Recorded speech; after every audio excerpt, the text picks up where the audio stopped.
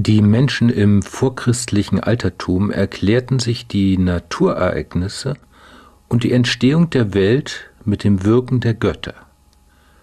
Die antike Mythologie ist reich an Göttern, die den Menschen in ihren Problemen und Gefühlen ähnlich waren. Sie waren eifersüchtig, bestechlich und manchmal auch rachsüchtig.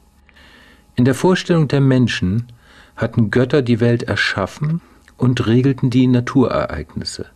Wenn die Erde bebte und das Land überschwemmt wurde, verursachte dies Poseidon, der Gott des Wassers und der Erderschütterung. Für eine reiche oder karge Ernte war Demeter verantwortlich, um nur zwei Beispiele zu nennen. Mit Ritualen, Opfern und Gebeten versuchten die Menschen, die Götter gnädig zu stimmen.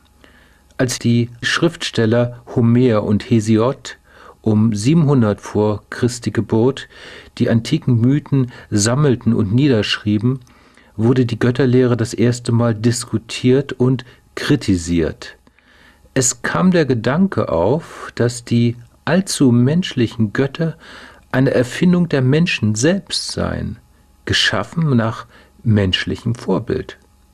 Nun trat die Philosophie auf die Bühne der Geistesgeschichte. Sie suchte nach natürlichen Erklärungen auf die Fragen, woher kommt die Welt? Was ist der Ursprung von allem? Woraus ist die Welt gemacht? Wie entstehen Naturprozesse? Die Entwicklung dieser neuen Denkweise war ein langsamer Prozess des Überwindens und Ersetzens alter Mythen.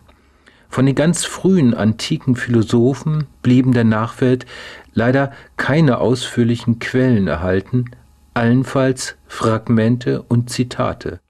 Der erste uns bekannte Philosoph ist Thales von Milet.